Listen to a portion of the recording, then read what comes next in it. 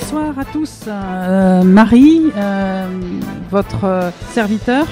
Et euh, ce soir, eh bien, on a fait une petite exception ce soir. On va recevoir euh, Jean-Jacques euh, Del Maestro. Je pense que c'est un, une petite heure qui va vous intéresser, puisqu'on va, on va parler justement euh, des produits euh, de développement durable, de l'environnement. Et ce soir, on reçoit Jean-Jacques Del Maestro, qui tient une structure qui s'appelle euh, Végétol. Bonsoir Jean-Jacques. Bonsoir. Est-ce qu'on peut se tutoyer? Tout à fait. Très bien. Donc, ce qu'on va, ce qu'on demande généralement dans cette émission, c'est une présentation euh, de votre, euh, de vous-même, de votre parcours et pourquoi vous avez ouvert cette structure Végétoil. Alors en fait, euh, on a ouvert cette structure euh, à la base, c'est une rencontre avec une personne qui est sur le territoire de Carpentras, qui s'appelle euh, Lilian Berthet, qui est, ça fait 25 ans qu'il est dans, on va dire, euh, le recyclage euh, local, par le, en l'occurrence pour ce qu'on fait de l'huile végétale alimentaire usagée. Et de cette rencontre, on a voulu structurer ce, cette initiative personnelle qui est répétée par nombre d'individus et qui est, qui est intéressante dans, le, dans la mesure où elle participe par un geste citoyen à, une à- on va dire à protéger l'environnement, ni plus ni moins. Mhm. À partir du moment où on s'est un peu mis ensemble par rapport à une réflexion autour de ça, on a eu l'idée de, de se monter en association pour pouvoir structurer un peu ce réseau et de collecte et euh, avoir une approche un peu plus, on va dire, professionnelle. Et ça, c'était en quelle année ça Ça se passait dans les années 2010. D'accord. Et, Et avant, qu'est-ce que vous faisiez avant? Vous Alors- étiez euh, déjà dans ce. Alors précédemment, j'étais sympathisant euh, de tout ce qui était, euh, on va dire, euh, approche environnementale, mais à vraiment dire, j'étais enseignant, donc ça n'avait absolument rien à voir par rapport à ça. Donc de cette rencontre, j'ai démissionné pour partir à fond dans ce projet. D'accord. Et vous étiez que deux? Au, Au, départ, ben non, en fait, on était euh, 4-5 personnes. À Mhm. partir du moment où on a fait euh, la fédération, la première année, euh, on a eu beaucoup, beaucoup de monde qui sont venus vers nous et on est- s'est retrouvé à une trentaine de personnes euh, en de 4-5 mois. Et c'est là où est né Végétoil ou alors euh, il y, avait quelque chose avant, avant, avant Végétoil? Avant Végétol, il n'y avait pas de, de structure à, proprement parler de, Mhm. de collecte euh, organisée, des, en tout cas dans le niveau associatif.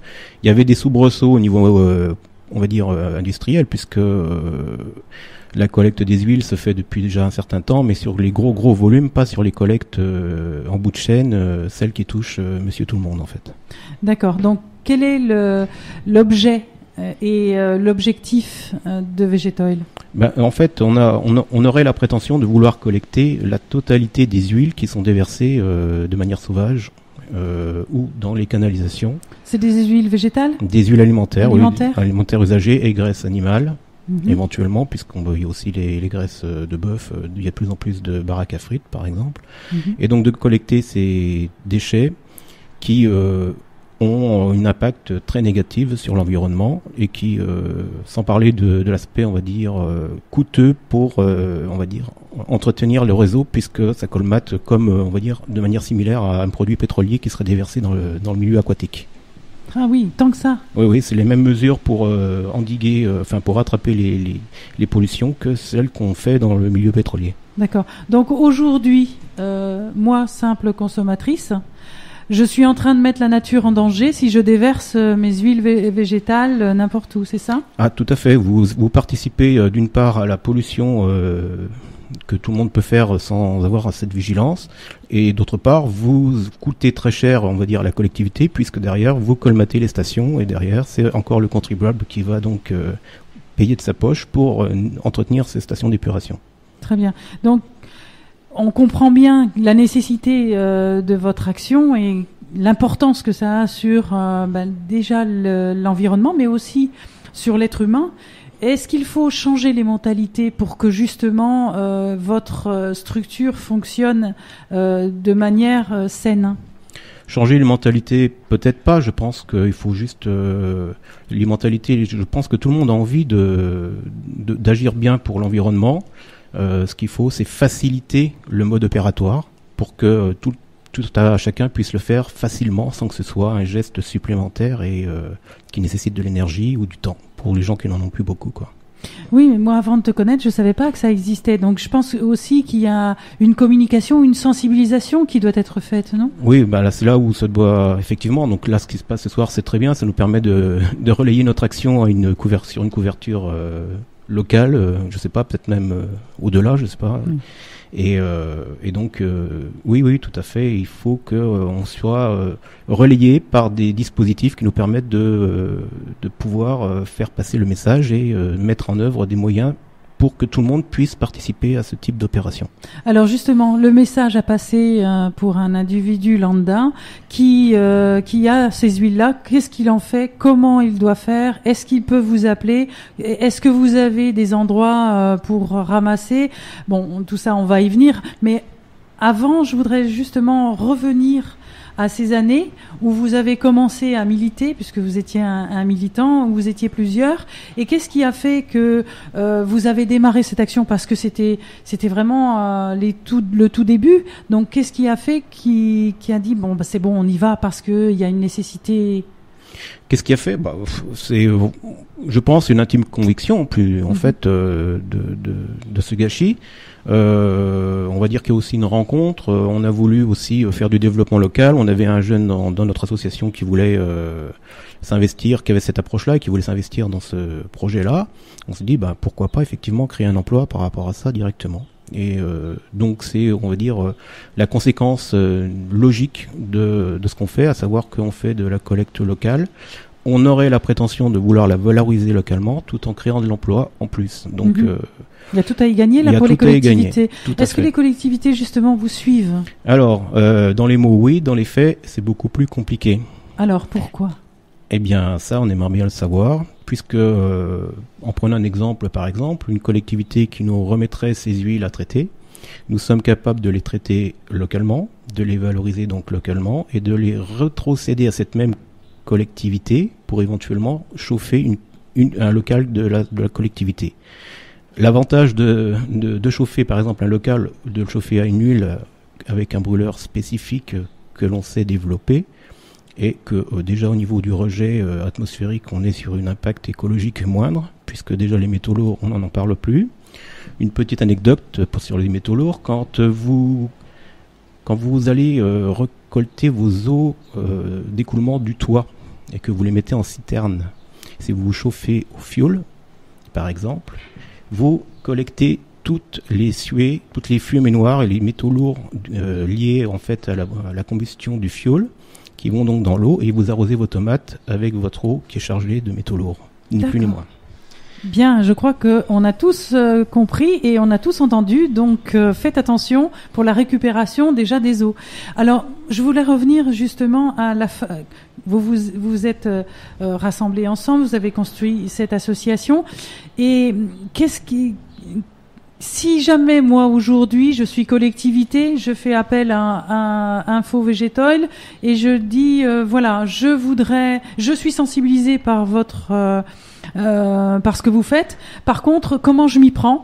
Est-ce que euh, qu'est-ce que je vais avoir comme moyen Est-ce que je dois me procurer une cuve? Est-ce que qu'est- qu'est-ce matériellement et techniquement qu'est-ce que je qu'est-ce que je peux faire? Alors, euh, nous, on, on collecte par exemple euh, déjà sur les, sur, les, sur les déchetteries. On s'est rendu compte que la collecte sur les déchetteries, bien, bien qu'elle soit, euh, on va dire... euh, Donc vous faites quoi? Vous posez une cuve? On pose faites- une cuve euh, et puis on vient donc la relever quand euh, on, nous, on nous appelle pour nous dire qu'elle est pleine. Le souci des déchetteries, c'est qu'il y a, on va dire, dans 90% des cas, une pollution qui est faite dedans par un geste qui euh, soit est accidentel, soit euh, peu citoyen. Et donc euh, on se retrouve avec des, des cuves qui sont polluées avec euh, de l'huile de vidange, par exemple. En Ah bon général, oui, oui, Ils c'est mettent, il y a des gens qui mettent de l'huile de Voilà. vidange dans vos tout à fait. cuves.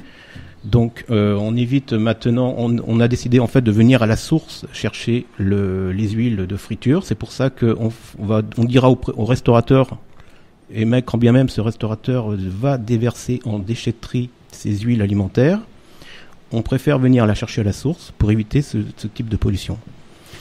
Maintenant, une collectivité qui voudrait s'impliquer dans notre projet, Oui. eh bien, euh, soucieux de cette euh, problématique, nous, ce qu'on préconise, c'est qu'il y ait un local euh, mis à disposition des, des citoyens, Mhm. dans lesquels, mais ce local, il y aurait une cuve qui serait déposée, qui serait verrouillé la nuit, enfin en tout cas protégé, pour Mhm. qu'il n'y ait pas d'une part des pollutions accidentelles et puis qu'il soit déversé par un opérateur lié à la collectivité et non pas par le, le public tout venant. D'accord. Donc il serait pris en charge par un membre de la collectivité Tout pour à fait. veiller à ce qu'il n'y ait pas de pollution. Tout à fait. On Bien. a fait, une, on a fait une période, on a fait un test euh, Oui. là-dessus sur une déchetterie. C'est la seule déchetterie qui fonctionne bien comme ça, et euh, on est à 100% de récupération sans aucune pollution. Oui, c'est ce que c'est ce qui se passe dans des déchetteries normales. Quand on va euh, notre remorque, il y a le côté bois, il y a toujours quelqu'un qui nous guide et dit c'est là, faites attention. C'est là. là, ça serait la même chose en Ce fait. serait exactement la même chose, mais euh, bon, ce qui se passe, euh, bien qu'on ait des cuves sur les déchetteries, il y a toujours Mm. la pollution. Donc là, maintenant, c'est carrément l'opérateur sur la déchetterie qui prend votre bidon dans la main et c'est lui qui va le déverser directement dans le conteneur. D'accord, il vérifie que tout est Voilà, ok. tout. Alors le bidon justement, les bidons, est-ce que il y a des bidons spécifiques? Est-ce que comment ça se passe? Alors pour le particulier, euh, il peut remettre son bidon euh, dans le contenant d'origine. Il peut le Mais c'est un bidon spécial ou Bah, alors euh, non, pas forcément. on, peut, venir simplement avec un peut- bidon Voilà, on peut on peut simplement remettre dans son contenant d'origine et nous venir nous le déposer. Mhm. On peut aussi, euh, si la collectivité s'implique sur une, on va dire une démarche, on va dire euh, à grande ampleur, on peut fournir des contenants qu'on a développés, qui sont des contenants euh, spécifiques pour la collecte des huiles alimentaires usagées, qui sont pas du tout euh, euh, moches, pour simplement dire. On peut les poser sur sa cuisine, ils passent en machine facilement, ils sont euh, facilement euh, reconnaissables et euh, double paroi et avec un avec un bouchon étanche qui permet en fait ni plus ni moins de euh, d'éviter euh, tout accident dans la cuisine ou que le, le minot ouvre le bouchon et le Mhm. déverse le, le tout. Donc ce, euh, une fois que le bidon est plein, c'est un réservoir de 3 litres, il suffit de l'emmener euh, dans le lieu repéré sur sa commune Mhm. et de le déverser dans le conteneur à cet effet. Très bien. Donc actuellement, vous travaillez avec euh, les restaurants uniquement? On travaille avec, on va dire, la- une grosse majorité ce sont les restaurants. Mhm. On travaille aussi avec certaines collectivités. Alors on peut les citer pour euh, Oui, les bah. féliciter déjà d'avoir euh, euh, ce, ce, ce- comment on dit cette cette euh, bah, je trouve plus mes mots ce, Cet engagement, on va cet dire. engagement voilà citoyen et cet engagement aussi vis-à-vis de, de l'environnement de son environnement. Tout à fait. Donc, bah, les premiers qui nous ont rejoints, c'était le CIRTOM DAPT, il y a déjà Oui. trois ans, c'était les premiers. Derrière sont venus deux ou trois mairies, des mairies de Lagne, qui ont Lagne et euh, Oped, qui ont euh, fait l'acquisition d'un conteneur qui est déposé euh, proche de la mairie, où les, leurs, les citoyens de la, de la commune peuvent venir directement dé- déverser leurs huiles alimentaires à l'intérieur. Après, dans les institutions, on a l'hôpital de Sceaux, Mhm. on a la maison de retraite de la Lègue. Mhm. On a plusieurs collèges et lycées qui ont compris notre démarche et qui nous ont fait préférence par rapport à des collecteurs euh, à dimension nationale. Voilà, j'en oublie sûrement quelques-uns. veulent- J'espère qu'ils vont pas m'en tenir rigueur. Euh, on faisait le point aujourd'hui et c'est vrai que je les ai oubliés entre temps là. Mais c'est pas grave, on y reviendra peut-être tout à l'heure. Mais voilà, ça, euh, je trouve que c'est euh, un moyen justement de dire je fais quelque chose sans trop m'investir parce que j'ai la personne adéquate qui va prendre en charge euh, ce que je ne peux pas ce que je ne peux pas faire et, do- et dont je me débarrasse dans la nature. Donc je trouve que c'est euh, pour chacun d'entre nous un investissement qui ne coûte rien. Bah, le, c'est un geste euh, ni plus ni moins. euh, si- en- comme je disais tout à l'heure en, en début de, d'interview, là, si euh, si la collectivité euh, joue le jeu de mettre à disposition ce qui est déjà en place pour le verre, le papier, tout ça, Mhm. euh, et, et qu'on ait un conteneur qui soit euh, orienté euh, pour qu'il n'y ait pas de souci de pollution, c'est un geste qui pourrait être aussi aisé à faire que ce que tout le monde maintenant sait faire pour jeter son carton ou son verre. Alors pourquoi à la déchetterie, à la COF par exemple, ou pourquoi à d'autres déchetteries, vous pouvez pas mettre ces cuves? C'est des, des grosses cuves d'ailleurs? C'est c'est quelque chose de volumineux? En général, ce sont des cuves de 1000 litres. Mhm. Maintenant, on peut travailler aussi sur des volumes plus petits pour restreindre les pollutions. Par exemple, à, à, la, à la déchetterie de Monteux, on est sur un volume de 100 litres, puisqu'on Mhm. s'est rendu compte que c'était plus facile à, à traiter euh, que du volume de 1000 litres et à surveiller surtout. C'est pas un problème pour nous puisqu'on est sur du local, donc euh, les rotations ne nous posent pas de problème en soi. On n'a pas besoin de venir euh, tous les 6 mois, on peut passer tous les 15 jours si nécessaire. D'accord. Alors pourquoi euh, la COV, la, la, communauté de communes d'agglomération, euh, n'a pas n'a pas été dans votre sens? Qu'est-ce qui fait que euh, ça suit pas? Qu'est-ce qui fait qu'il y a des communes qui sont pas éveillées à cela?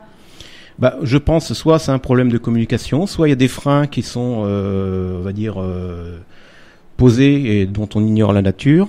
Euh, je reprendrai pour exemple, puisque c'est quelque chose qui s'est résolu euh, très rapidement, la seconde collectivité, la communauté de communes qui a voulu travailler avec nous, c'était la communauté de communes euh, du Pays des Sorgues, donc le secteur l'île-sur-Sorgue où en fait au début on a eu l'aval tout de suite de Madame la Présidente de l'époque et derrière, on avait eu donc des, réticences euh, sur le comité technique. Euh, on a donc euh, étudié ces réticences. On a été jusqu'à interroger la SDIS, qui est donc le centre mhm. euh, des pompiers sur Avignon, et qui nous a fait une réponse écrite en nous disant que pour eux, la collecte des huiles alimentaires n'était est un déchet banal, ça euh, il faut le savoir déjà, et que ça se traite de la même manière en termes d'incendie que euh, un, incinérateur de carton ou autre. Mhm. Donc en soi, c'est pas, il n'y a pas de réticence à avoir par rapport à ça. Mhm. Donc on peut très bien envisager d'avoir des conteneurs d'huile, des collecteurs d'huile déposés sur la voie publique. Euh, on va dire que la SDS nous a donné l'aval par rapport à ce type de démarche. D'accord. Donc si je comprends bien, c'est peut-être euh, une communication à faire euh, continuellement, à, peut-être les sensibiliser davantage? Qu'est-ce que vous en pensez Je pense que oui. Euh, le souci, c'est l'information. Mhm. Peut-être aussi la crédibilité, parce que nous sommes une association. Je sais pas. Ça, ça peut nous aussi nous desservir. Et maintenant, euh, on, se targue de vouloir faire aussi bien que les professionnels, et en tout cas mieux, puisque euh, nous on est sur la boucle locale, là où les soucis de rentabilité, là, eux ils s'arrêtent, nous on continue. Ah oui. Voilà. C'est-à-dire, eux, ils s'arrêtent et vous, vous continuez, c'est-à-dire C'est-à-dire que eux, bah, ils ont toujours dans la balance, euh, on va dire, le, le, rendement. Le rendement. Et nous, notre approche, c'est pas le rendement, c'est euh, euh, la récupération de toutes les huiles. Mhm. Donc euh, l'huile de coude, en l'occurrence, euh, est au rendez-vous. l'huile de coude, oui aussi. Votre zone géographique, elle se situe où? Actuellement, nous sommes sur le Vaucluse et le nord des Bouches-du-Rhône. Mhm. du fait qu'on qu'on vient de créer une, on va dire une fédération, on va pouvoir prétendre à des marchés au-delà, à savoir jusqu'à une, jusqu'à une compétence jusqu'à une compétence nationale. Et euh, par quel biais? Ni plus ni moins que celui de l'essaimage, à savoir que quand, euh, si demain, par exemple, une collectivité qui est à, on va dire, à 150 km de, de notre point nodal qui est basé à l'île sur la Sorgue, euh, nous appelle, on va transmettre euh, cette demande à une autre association, une structure qui est dans notre réseau, pour que cette euh, compétence soit prise par le, la, enfin, la structure la plus proche. D'accord, donc vous êtes en fédération, vous êtes combien dans cette... Euh, on est six membres fondateurs. Oui, on peut les citer? euh, Il y a, euh, oui, alors de mémoire, il y a Roule Mafrit 17 à Oléron, il y a Oléo Déclic à Marseille, il y a Roule Mafrit 66 à Perpignan, il y a Roule Mafrit Saint-Onge qui est en Charente-Maritime, il y a Roulmafrit 31 à Toulouse. Il y a Arenam euh, qui est dans la région nord-est vers Nancy ou Metz. Et euh, je crois ne pas en avoir oublié, euh, en mhm. tout cas. Voilà, donc c'est tout frais. Hein, ça s'est créé il y a, on va dire, au début du mois. On est donc en pleine phase de, déploiement, d'études des cahiers, mais on est déjà parti à fond sur des projets européens pour pour pouvoir euh, obtenir des financements, euh, pour pouvoir se développer et avoir une, bonne réponse euh, quant à la collecte des huiles et leur débouchés. Donc la zone géographique aujourd'hui, c'est simplement le, territoire vauclusien Aujourd'hui, c'est le territoire vauclusien. On avait une antenne sur le secteur Verdon qui, qui s'est essoufflée qui ne demande qu'à renaître. Donc, euh, s'il y a des gens euh, qui nous entendent par là-bas, éventuellement, il y a une possibilité de, puisqu'il y a un tissu qui est déjà maillé là-bas, et par contre, il n'y a plus de, collecte parce que euh, les bénévoles ne sont plus au rendez-vous. Quoi. Alors, aujourd'hui, la, la, structure, elle a quel âge? Actuellement, on entame la quatrième année. Quatrième année. Ouais. Euh, vous avez des partenaires, je suppose. Quels sont vos partenaires qui vous soutiennent ou qui, euh, qui travaillent avec vous ou qui euh, vous font la bonne parole ou etc. Est-ce que vous avez des partenaires? Bah, Parce que c'est souvent ce qui manque. Oui, on a eu, on va dire, on, a eu à une époque le réseau ESS qui nous a propulsés et qui est toujours sous-jacent derrière si on les sollicite. Euh, bah, bien sûr, il y a le, le réseau du CBE Ventoux qui, qui, qui nous pousse, euh, et merci encore, hein, j'en suis témoin. Et sinon, euh, que dire? Non, on n'a pas trop en fait de partenaires qui, qui fassent de relais par rapport à ça. Et euh, effectivement, il y a, euh, je pense que c'est un de nos, problèmes, c'est la communication au sein de notre mhm. entreprise, tout à fait. Mhm. Donc, je pense que si vous décrochez un, un projet européen, c'est là-dessus que vous allez miser, euh, ou tout du moins fédérer euh, vos, vos, vos, partenaires, ceux qui sont dans la fédération, pour justement axer là-dessus. Est-ce que vous pensez justement que cette fédération va vous permettre de sensibiliser davantage sur la récupération des huiles? Tout à fait, c'est l'objet. De, toute façon, c'est euh, on va dire c'est notre charte commune en fait. Hein. On mhm. est toujours dans le même axe, la, la collecte et la valorisation locale de nos huiles. Mhm. Euh, ce qui est dommage, c'est que en termes de valorisation, actuellement, on n'est pas du tout dans les clous puisque euh, tout ce que nous collectons euh, part pour 90% à l'export, faute de moyens de valorisation eh locale. Alors qu'on a la, potentiellement la technique pour pouvoir le faire. Alors justement, on va parler technique. J'ai euh, de l'huile végétale. Je vous la remets. Qu'est-ce que vous en faites? Expliquez-nous le cheminement pour que justement ensuite ça devienne euh, du combustible. Alors ces huiles sont collectées, sont mises en, on va dire, en décantation pendant un certain temps. C'est quoi la décantation? Décantation, c'est ni plus ni moins que les déposer euh, dans un récipient plus grand, mhm. où elles sont donc euh, mises en décantation, c'est-à-dire qu'elles sont mises au repos pendant, on va dire, trois semaines, un mois, deux mois, ça dépend en fait un petit peu de, la température extérieure. Bien sûr, quand il fait chaud, ça va plus vite que quand il fait froid. Et euh, la nature fait naturellement son, son job, à savoir que les eaux tombent au fond de du bac pour laisser surnager en fait les huiles, puisque l'huile est beaucoup plus légère que l'eau. Une fois que cette décantation est faite, on prend cette huile et on va donc la, traiter mécaniquement, à savoir qu'on va la filtrer à plusieurs reprises avec euh, des périodes tampons pour passer donc d'un produit euh, non filtré à un produit qui sort en fin de chaîne euh, filtré à un micron.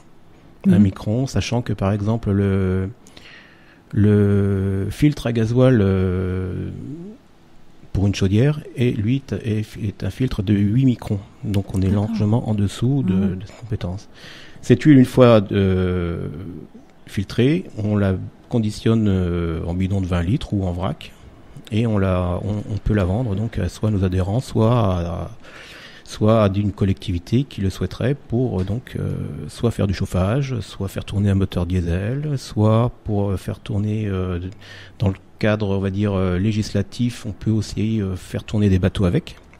Et les voitures, non, je crois que c'est pas autorisé. Non, depuis deux ans, c'est devenu illégal. La mhm. seule dérogation, ce sont les esters méthyliques, qui est donc là une transformation chimique mhm.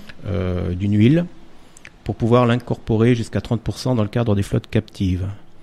Donc techniquement, ça, nous sommes en mesure de pouvoir le faire.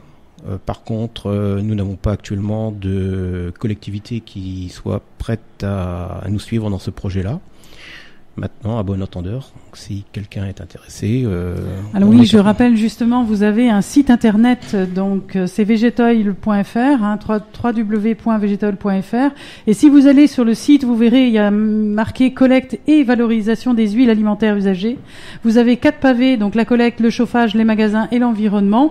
Et surtout, vous avez un numéro de téléphone pour euh, être en contact avec euh, Jean-Jacques Delmaestro au 04 84 25 21 31 pour euh, lui écrire euh, sur sa boîte mail. C'est info au singulier végetoil.fr et justement vos besoins aujourd'hui parce que là euh, vous, dites que c'est pas facile de communiquer, de sensibiliser, mais on est dans une période où le développement durable, est en plein essor, où il y a beaucoup d'entreprises ou des associations vont dans ce chemin-là. Alors, qu'est-ce qui fait que euh, là, tous les ingrédients y sont Qu'est-ce qui fait qu'aujourd'hui, la sensibilisation euh, n'est pas n'est pas rentrée dans, le, cerveau de, chacun pour dire mais euh, oui c'est évident non seulement c'est évident mais je vais le faire.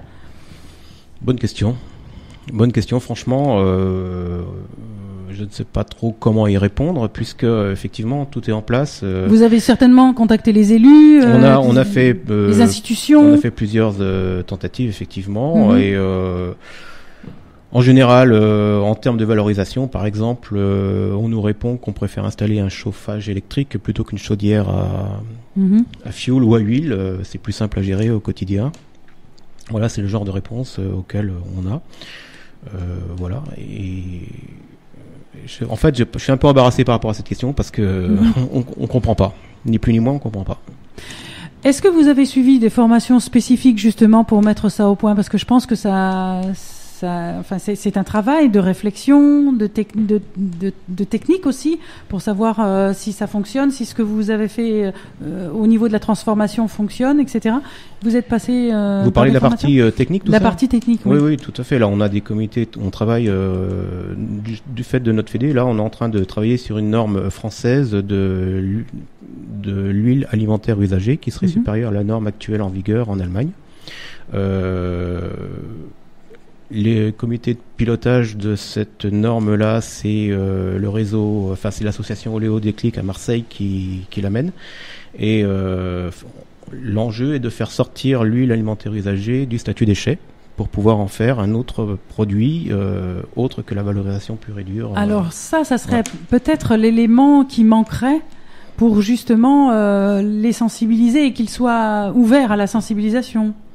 Peut-être. Mm.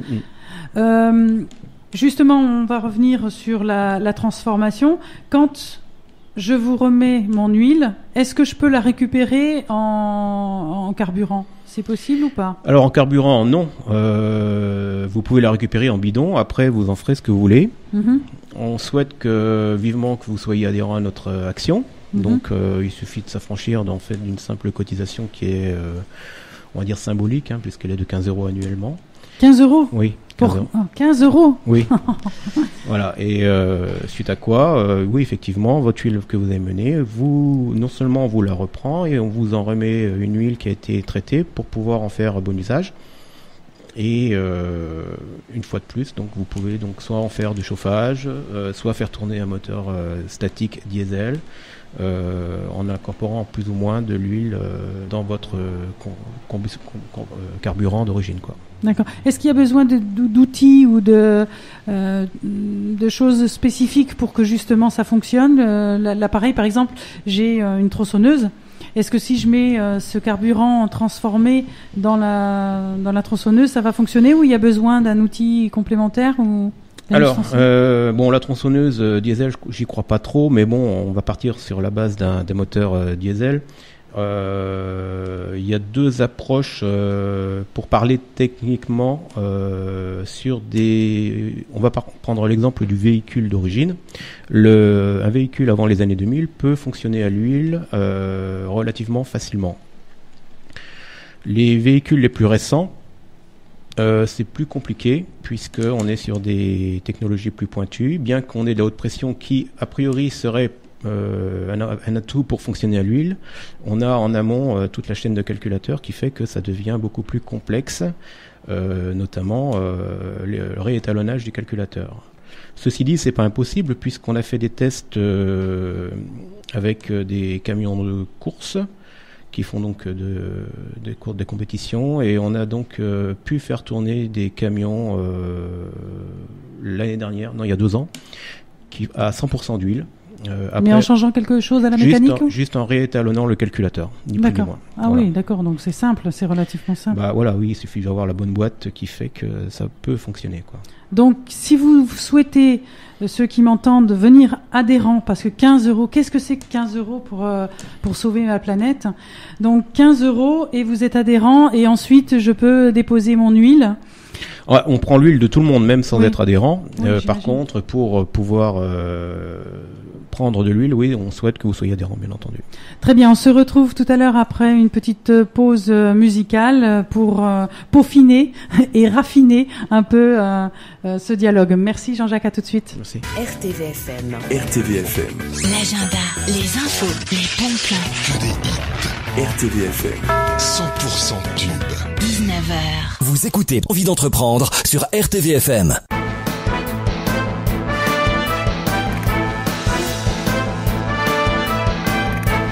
Bonsoir à tous, heureuse de vous retrouver. Nous sommes toujours avec Jean-Jacques Del Maestro euh, sur sa structure euh, où vous pouvez le joindre et adhérer pour 15 euros. Vous vous rendez compte, vous allez rendre votre planète euh, plus belle qu'avant au 04 84 25 21 31 où vous, vous pouvez aller voir sur son site euh, www.végétol.fr ou lui envoyer un petit message info@végétol.fr.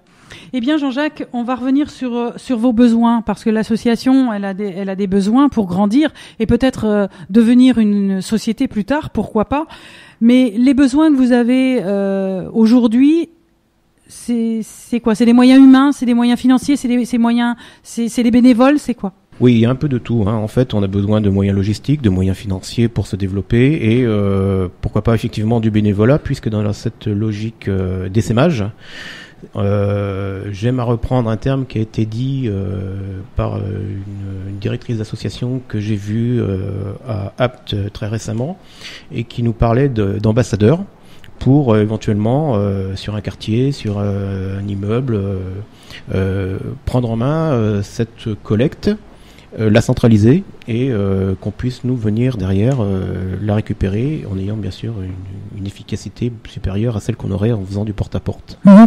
Alors, ce, ce- cet ambassadeur, euh, ça me parle aussi puisqu'on a mis en place, nous aussi, dans une ville qui n'est pas celle-ci, mais justement pour sensibiliser les gens et notamment les personnes d'un certain âge qui ont besoin de faire quelque chose et de rester dans la société, on les a mis ambassadeurs de la propreté pour ramarcher des papiers plastiques pour éviter justement qu'ils restent dans la nature. Ça peut également euh, fonctionner euh, de cette manière-là? Tout à fait, tout à fait. Et justement, si je veux devenir ambassadeur, qu'est-ce que je fais Euh, Qu'est-ce qui- qu'est-ce qu'il y a à mettre en place? Vous l'avez travaillé? Non, nous on l'a pas travaillé. Simplement, euh, je pense qu'il y a quand même une, euh, quelque chose de sous-jacent.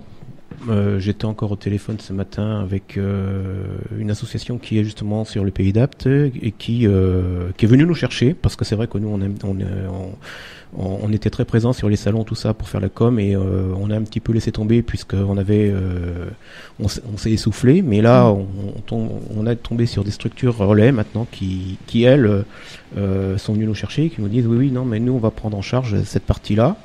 Il faut que de toute façon, ce soit des, des, des structures qui soient très proches de, de la personne qui serait potentiellement ambassadeur. Nous, on est, on n'a pas, on est trop, on va dire, euh, concentré sur notre activité de, collecte et de valorisation pour pouvoir euh, en plus gérer, on va dire, la partie humaine quant à la mise en place du dispositif. On aura le conseil sur la partie technique, il n'y a aucun problème.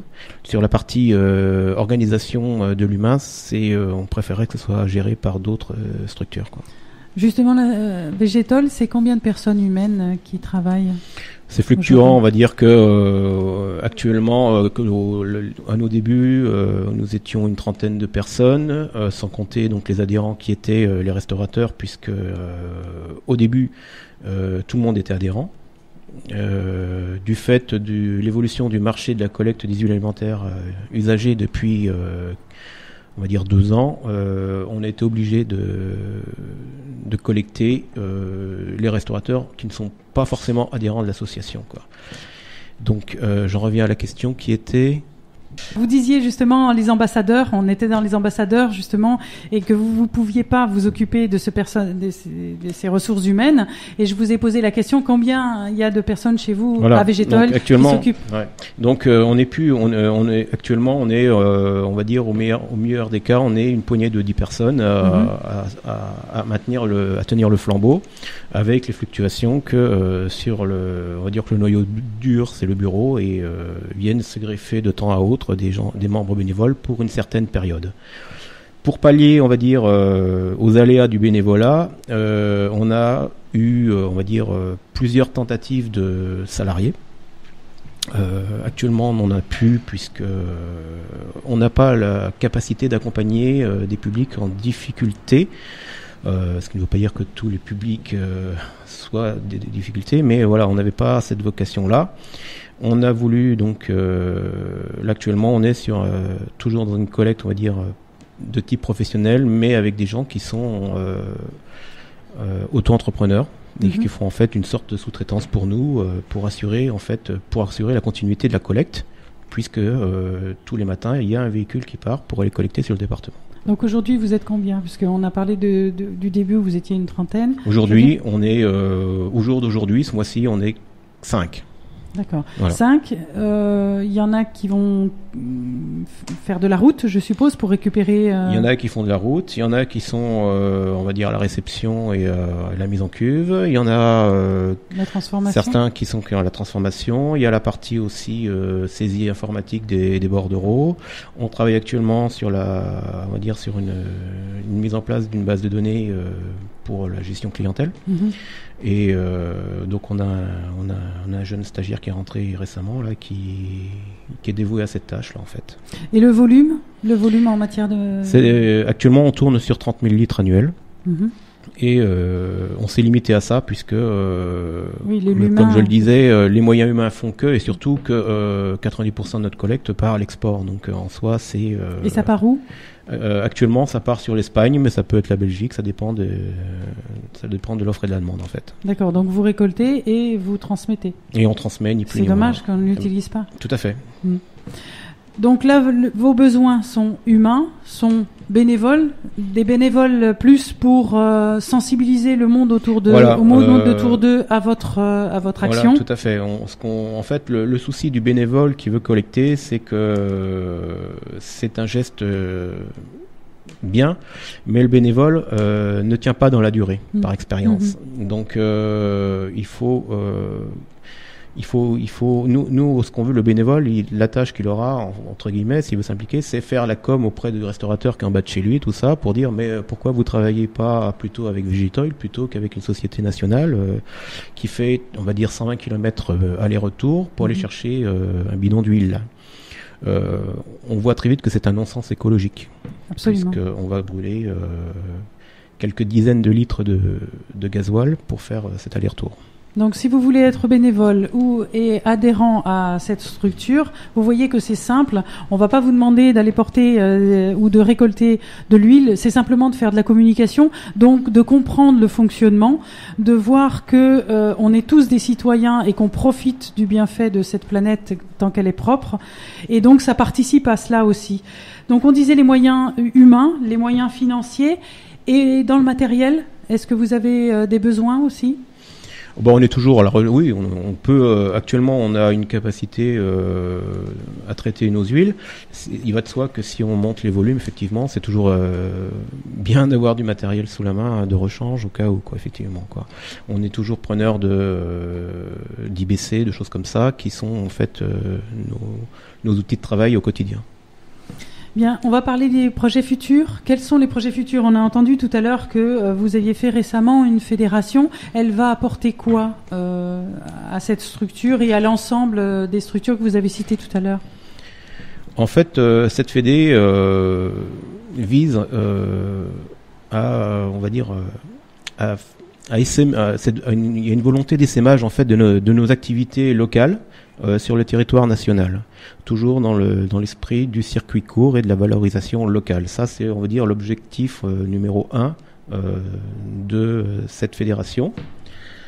Par ailleurs, on travaille sur des différents axes de recherche notamment, donc je l'évoquais tout à l'heure, la mise en place d'une norme d'hu- d'huile alimentaire usagée recyclée, qui serait donc normée et donc qu'on pourrait donc on pourrait donc inventer ou en tout cas distribuer cette huile avec euh, donc euh, du fait qu'il y a une norme, une euh, on va dire une, une traçabilité euh, pour euh, tout ce qui pourrait être motorisation, etc. Et mettre à la revente, à la revente de tout euh, citoyen ou, ou ça Alors- serait spécifiquement encore une fois pour le, les Le, actuellement, Les euh, pour tous les pour tous les citoyens, euh, on sait pas trop en fait, hein, puisqu'il y a un cadre légal en France qui fait qu'on ne peut pas euh, utiliser l'huile, euh, comme je le disais tout à l'heure, comme euh, comme euh, moyen de combustible Mhm. pour le véhicule, par exemple. Euh, pour un industriel, par exemple, euh, il pourrait éventuellement, euh, au lieu de faire tourner un groupe électrogène au gasoil, il pourrait envisager de le faire tourner à de l'huile de friture. Mhm. Dans les mêmes conditions, on a s'est rapproché d'industriels qui, eux, sont prêts à nous suivre dans ce type de démarche. Euh, Il y a déjà sur le marché déjà des, des groupes électrogènes qui peuvent fonctionner à l'huile de friture et donc on travaille et dans qui sens. demandent pas de rectification. euh, Non, non, ils sont, ils sont carrément conçus directement pour être. c'est un kit qu'on met sur le groupe et qui euh, permet de fonctionner à l'huile de friture directement. D'accord. Voilà, donc cette mise en place de normes euh, permettrait donc de faciliter encore cet accès-là, bien que ça fonctionne déjà. Euh, on a d'autres approches aussi, donc euh, on travaille aussi sur tout ce qui est la sortie du le zéro déchet. Euh, en l'occurrence, euh, à savoir que euh, l'huile c'est un c'est un combustible qui est déjà incorporé dans l'essence, enfin dans le gasoil routier de tout à chacun, puisqu'actuellement il y a une incorporation à 8% de- d'huile transformée en ester méthylique dans le carburant. Mhm. Ce qui veut dire que quand vous allez à la pompe, euh, vous mettez déjà 8% d'huile euh, dans votre moteur. Mais de l'huile végétale? De l'huile végétale transformée en ester. On n'est pas sur une huile brute. hein. D'accord. Donc la petite manipulation technique, c'est qu'on a enlevé la molécule de glycérine, qui est en fait la molécule qui pose problème dans la combustion et qui est source de produits euh, cancérigènes comme. Mhm. Euh, cette volonté d'incorporation, elle n'est pas vieille et elle est en, en plein essor puisque les textes européens préconisent, si j'ai bonne mémoire, une incorporation à 15 ou 20% d'ici une dizaine d'années dans, le, dans les gasoils routiers. D'où l'intérêt de faire cette fédération. Euh, juste une question, autres, euh, les autres euh, associations qui sont dispersées un peu en France, est-ce qu'ils rencontrent le même problème que vous avec les collectivités ou avec justement la sensibilisation auprès des habitants ou des citoyens? Pas forcément. Non Ça dépend Ça vraiment dépend de- du rapport euh, qu'a euh, la collectivité avec euh, avec l'association locale et tout ça. Euh, Il y en a pour certains où le- ils ont eu aucun problème de communication pour Mhm. euh, ils ont été suivis de suite et euh, ça fonctionne bien. Il y en a d'autres qui euh, fonctionnent sans forcément travailler avec le local, mais où l'humain a été mobilisé directement. Mhm. Euh, voilà, c'est vrai que nous, on est euh, pour notre partie, euh, on va dire, la- un des plus anciennes, une des plus anciennes structures, mais pour laquelle, euh, on va dire, euh, l'essor ne s'est pas fait sentir pas- aussi vite que les autres. Ouais. quoi. Mhm. Et les projets futurs pour euh, Végétoil Est-ce qu'il y a des projets futurs euh, Comme tout à l'heure, il me semblait que vous parliez d'un projet européen. Ça consisterait en quoi exactement? Parce que on connaît pas toujours ce que on dit projet européen, mais ça englobe quoi? Ça va dans quelle direction? C'est fait pourquoi Ce projet européen dont vous parlez, c'est, euh, on a été consulté euh, bah, dans le cadre de notre fédération pour euh, pour faire euh, en faire en fait c'est une approche euh, de recherche sur euh, les différentes euh, possibilités de valorisation de, de- des huiles actuellement. Mhm. Il y a plusieurs pays qui sont euh, sur le sur la liste et euh, Ils sont sur le même niveau, c'est-à-dire au niveau de la recherche, toujours, ou alors ils sont un petit, petit peu plus avancés que, que nous? Euh, bah, il- on- par exemple en Allemagne c'est beaucoup plus euh, établi déjà. hein, déjà C'est commun? C'est commun, c'est commun. On, on a Mhm. déjà des stations à huile euh, qui fonctionnent depuis toujours. Euh, ouais, un petit aparté, par exemple, c'est que euh, on est le seul pays d'Europe actuellement à avoir pris le contre-pied de la recommandation européenne. Ah, Voilà, euh, puisque le texte européen préconise de mettre en œuvre euh, tout ce qui est possible au niveau citoyen Mhm. pour euh, éviter le taux de, enfin, de, de polluer son atmosphère pour faire court. mhm. Et euh, donc, euh, dans ce sens-là, le texte européen préconise l'usage de l'huile euh, de façon modérée euh, dans le carburant pour éviter, donc, euh, d'une part, d'ajouter du CO2 euh, d'origine minérale euh, dans l'atmosphère. On est sur un circuit court quand on utilise de l'huile d'origine végétale, puisque c'est le bouclé en un an. C'est-à-dire qu'on ne va pas ajouter de CO2 dans l'atmosphère, puisque c'est sur un circuit végétal. Et derrière, on a bien sûr, le problème des métaux lourds, du soufre, tout ça ne se pose plus. Mhm. Donc euh, oui, voilà, donc ça. euh, Et combien de pays sont concernés euh, à ce projet? Quelle sorte de pays? Est-ce qu'il y a l'Allemagne déjà? L'Allemagne, il est dessus, il y a l'Italie, Mhm. la Pologne, euh, je crois qu'il y a l'Espagne aussi.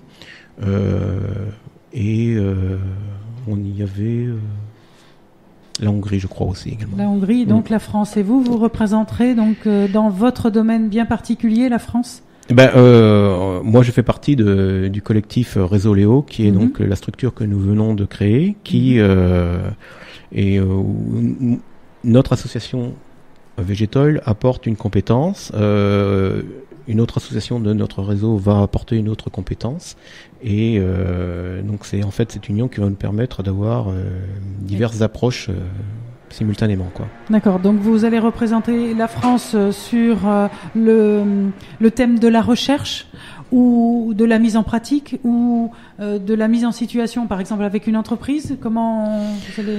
En l'occurrence, là, on va être, si on est retenu, ça sera plutôt pour montrer déjà ce qu'on sait faire Mhm. sur le territoire, puisqu'on a différentes, euh, on a un panel euh, assez euh, varié de différents usages possibles de l'huile à travers nos différentes associations. Et euh, si on est retenu, effectivement, on pourra, euh, il y aura sûrement une, une, un voyage organisé au niveau européen pour venir voir un petit peu ce qu'on sait faire nous en France par rapport à ça. Quoi. Très bien, donc c'est un très beau projet. J'espère franchement que vous allez réussir parce que ça va vous permettre aussi euh, de sensibiliser, la première des choses, et aussi de la communication. Est-ce que vous avez d'autres projets euh, actuellement, non, on est, on a un petit peu la tête dans le guidon. Je vous cacherai pas. Effectivement, donc les projets, ils viennent naturellement après. hein. Euh, on a beaucoup, on travaille beaucoup sur les, on va dire sur la partie euh, légale pour faire euh, passer en ce qu'on ce qu'on aimerait qu'il passe. Euh, les projets na- viendront naturellement derrière euh, Mhm. dès que les portes s'ouvriront. Et la vie de famille dans tout ça? Parce que là, vous disiez... euh, vous la vie de famille, euh, ben, là, euh, on a des bénévoles qui ne sont pas cités. euh, effectivement, la vie de famille, euh, si elle suit pas derrière, ça peut être très vite conflictuel. Mhm. Et euh, ça prend énormément de temps, effectivement. ouais. Euh, on, en a- on avait parlé en aparté que vous aviez juste- justement décroché un marché avec les McDo. Vous pouvez en Oui, parler? c'est tout neuf là, oui, effectivement. Donc euh, voilà, bon, bah, en fait, euh, on a été contacté par une chaîne, la chaîne McDonald's, pas plus tard que que, ce, que la semaine dernière, et bonne nouvelle, euh, effectivement, on commence à être entendu puisque maintenant euh, des opérateurs locaux euh, pensent à nous pour pouvoir euh, faire collecter leurs huiles alimentaires usagées. Euh, on a tous Ils sont situés où les McDo? Alors là, c'est les McDo qui, euh, en fait, c'est la même structure qui, re- qui englobe le McDonald's de Cavaillon, l'île sur la Sorgue et Apt. Mhm. Euh, voilà, donc on est en, on va dire, en- Donc ils ont On- entendu, ils on ont adhéré? ah, pour le moment, on est candidat. Hein. Maintenant, on va savoir s'ils vont nous choisir et, et derrière. mais effectivement, la valeur ajoutée qui leur plaît, effectivement, c'est qu'on est sur un circuit court. Et ça, ils y sont sensibles et en tout cas, euh, le message passe à ce niveau-là, quoi.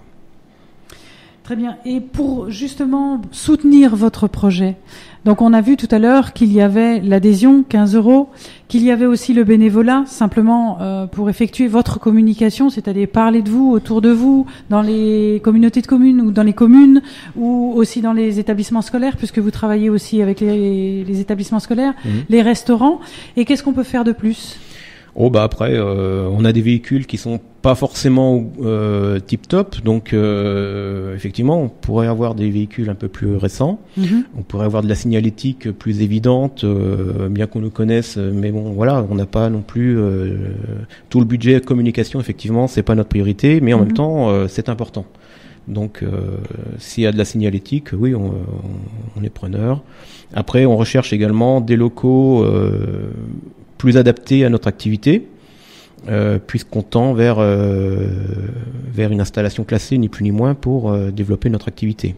Est-ce qu'il y a des entreprises qui vous ont contacté justement parce que c'était intéressant pour eux Euh, Est-ce qu'il y a des entreprises qui pourraient utiliser ce genre de produit et qui vous ont contacté ou est-ce que justement c'est pas pas dirigé dans leur dans leur optique? On a un précédent déjà depuis quelques années. Hein. Euh, On est une entreprise en fait, non, c'est un mag- oui, c'est un magasin, c'est euh, oui, c'est une entreprise. Hein. C'est un magasin bio qui est situé sur Avignon qui euh, nous achète euh, depuis maintenant euh, 5-6 ans de l'huile pour faire fonctionner son chauffage, euh, qui est un chauffage spécifique pour l'huile, 300 mètres carrés tous tous les hivers. Donc oui, ça fonctionne. Euh, on peut aussi euh, transformer euh, une chaudière existante euh, en y incorporant donc euh, un nouveau brûleur spécialement conçu pour fonctionner à l'huile. Ça, euh, on peut le faire sur simple demande. hein. Il suffit de nous contacter et on met en place le, le cahier des charges, tant pour euh, la livraison du, du brûleur que pour la formation à l'entretien. Et, euh, et on fait un contrat de livraison de l'huile à l'année. Et est-ce qu'on peut d'ores et déjà devenir ambassadeur? Oui, dans la mesure où il y aura un relais avec la collectivité. D'accord, donc il faut qu'il y ait la collectivité au départ. Bah, soit soit l'ambassadeur est euh, quelqu'un qui prend euh, la, ch- la chaîne complète de on va dire de, de la collecte et nous l'amène sur place ou l'entrepose localement dans un lieu sûr. Soit c'est la collectivité qui est intermédiaire et à ce moment-là, oui, il faut il faut mettre en place euh, ce type de de collecte, mais qui soit comme je le soulignais quelque chose qui soit entre guillemets surveillé, en tout cas contrôlé, pour pas qu'il y ait de de, de fuite. Alors je suis collectivité. Est-ce que ça me coûte si jamais je fais appel à vous pour avoir une cuve et Quels sont les coûts à la collectivité? Parce que c'est peut-être ça qui, qui peut freiner. Je pense pas, puisque toutes les collectivités travaillent avec euh, avec des des coûts qui ne dépassent largement euh, ce que nous on prétend. Euh, oui, on peut on peut fournir des cuves euh, qui vont bien.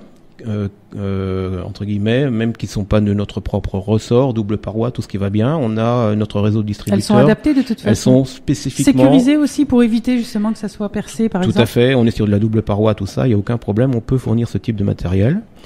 Euh, ce qu'on peut aussi fournir, ce sont ce que j'évoquais au début de l'émission, des collecteurs pour les particuliers.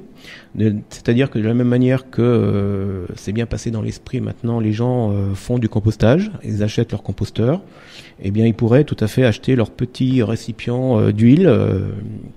Euh, vous- vous- si vous connectez sur C'est des bidons de combien? Oui, je crois que c'est marqué sur votre site. Ce sont des bidons de 3 litres. Mhm. Et euh, c'est un, c'est un, comment dire, un récipient qui est adapté à la collecte et qui euh, évite effectivement euh, de, de faire des gouttes, qui est lavable en machine. Soit vous pouvez l'acheter directement auprès de sur notre site, soit vous pouvez, et c'est ce qu'on souhaite, que ce soit une Collectivité collectivité qui prennent en charge. qui prenne en charge en fait euh, la gestion, euh, on va dire revente Mhm. pour ses administrés euh, du bidon d'huile. Mais Puis- est-ce qu'elle peut pas se faire de l'argent aussi Parce que justement, le, le- fait de donner de l'huile et de récupérer du carburant? Alors effectivement, et, euh, là après, nous on est dans un statut associatif. Il Mhm. va de soi qu'il faudrait qu'on ait un partenariat euh, avec la collectivité. Mhm. Nous pourrions éventuellement euh, rétrocéder une, une somme par rapport à, aux huiles que nous récupérons, effectivement. Donc, euh, ça serait du bénéf euh, en plus. Enfin, euh, en plus, peut-être pas en plus. oui, mais voilà, c'est euh, Disons que ça serait, ça serait pas tout, tout perdu.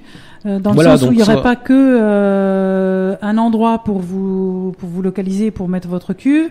Euh, Peut-être euh, eux ils devraient s'investir pour avoir les petits bidons et les transmettre aux habitants, avoir un ambassadeur, mais quand même il y aurait un retour financier. Voilà, effectivement, si la collectivité n'est pas, on va dire, euh, acheteuse d'huile parce que euh, elle a d'autres moyens euh, pour euh, chauffer, euh, etc., etc. Mhm. Effectivement, on pourrait éventuellement euh, racheter cette huile et euh, ce serait un apport euh, financier pour la commu- pour cette collectivité, quoi. Donc si des collectivités aujourd'hui, si des, des, des maires euh, nous entendent, eh, ils peuvent vous contacter et euh, contracter une convention avec vous pour mettre en place euh, ce, ce- Tout à ce fait. type de, Tout de à thématique. Ouais, tout à fait. Très bien. Donc vous vous téléphonez au 04 80 non, pardon 04 84 25 21 31 pour avoir Jean-Jacques Del Maestro et vous avez un site internet où vous verrez toutes les explications euh, dont vous aurez besoin. Euh, justement parce que il- on peut pas tout dire en une heure, mais c'est vrai que effectivement le site est très très très bien fait, très complet. Je sais que euh, de plus en plus euh, votre site est relié parce que nous au niveau du CBE on, on essaye aussi avec nos petits moyens de relayer l'information et de la sensibilisation euh, de votre euh, de votre association. Euh, si si les collectivités vous entendent et euh, euh, mettent en place une convention, est-ce que qu'est-ce qu'ils ont d'autres moyens pour que euh, la communication aille aussi dans le sens Je m'explique peut-être mal. Une collectivité, ça a besoin de retour, soit dans la communication, soit dans dans l'argent. qu'est-ce qu'ils ont en retour? Qu'est-ce qu'ils peuvent s'attendre avec une convention avec Végétoil Bien, euh, déjà nous en termes de convention, euh, une convention, ça veut dire que déjà on, on, travaille pour eux sur le développement local. Je crois, je crois mm -hmm. qu'on rentre tout à fait dans le cadre de leurs agendas 21. Donc ça c'est un premier point. Ouais. Euh, ensuite, euh, on a des ré une réactivité euh, inégalable puisqu'on est sur le secteur local. Mm -hmm. Et ça c'est deux, c'est important.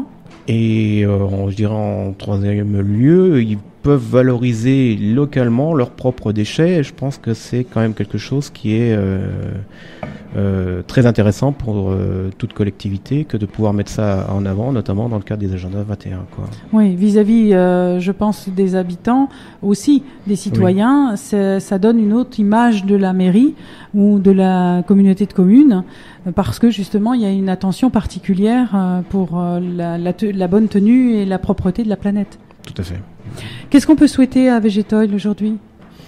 De doubler l'année prochaine euh, ses volumes. De doubler ses volumes? Voilà, tout à fait. Et vous avez des enfants? J'ai deux enfants, oui. Ils participent aussi à cette sensibilisation? Oui, ils font partie des, des, membres bénévoles qui travaillent dans l'ombre et qu'on qu ne voit pas effectivement. Ouais. D'accord, très bien. Euh, et votre épouse? Elle est impliquée aussi? Elle est impliquée, effectivement. Euh, elle, est, elle est au secrétariat pour euh, beaucoup de temps. Et, encore une fois, voilà, ce sont des gens qu'on ne voit pas, mais qui participent. Et effectivement, il y a d'autres. Euh, il y a beaucoup de bénévoles euh, qui nous qui sont des membres de la famille, qui, qui sont en fait des bénévoles de second degré, mais qui sont aussi euh, très importants dans notre activité. Quoi. Ben merci à vous, merci à eux de prendre soin de notre planète parce qu'on y est tous dessus. Je vous remercie, chers auditeurs, euh, de nous avoir encore euh, fait partager euh, ce moment avec Jean-Jacques Delmaestro. On se retrouve la prochaine fois, en début du mois prochain. À bientôt.